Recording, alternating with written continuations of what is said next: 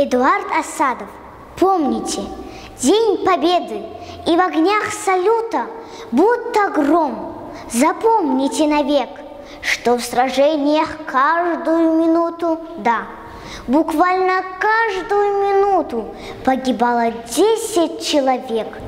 Как понять и как осмыслить это? Десять крепких, бодрых, молодых, полных веры, радости и света и живых, отчаянно живых. У любого где-то дом или хата, где-то сад, река, знакомый смех, мать, жена. А если не женатый, то девчонка лучшая из всех. На восьми фронтах моей отчизны уносил войны водоворот. Каждую минуту десять жизней, значит, каждый час уже шестьсот. И вот так четыре горьких года, день за днем, невероятный счет. Ради нашей чести и свободы все сумел и одолел народ.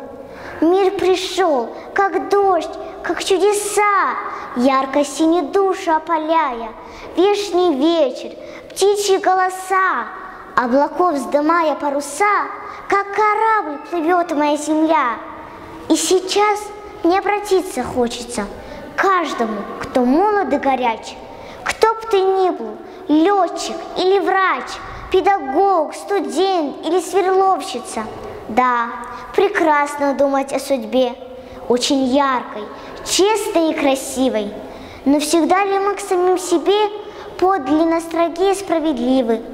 Ведь, кружась межплановые идеи, мы нередко, честно говоря, тратим время попусту, зазря, на десятки всяких мелочей, на тряпье, на пустенькие книжки, на раздоры, где не прав никто, на танцульки, выпивки, страстишки. Господи, да мало ли на что.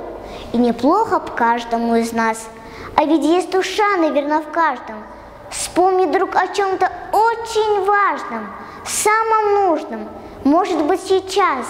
И сметя все мелкое, пустое, скинув скуку, черствость или лень. Вспомни, друг, о том, какой ценою куплен был наш каждый мирный день и судьбу замешивая круто, чтобы любить, сражаться и мечтать. Чем была оплачена минута?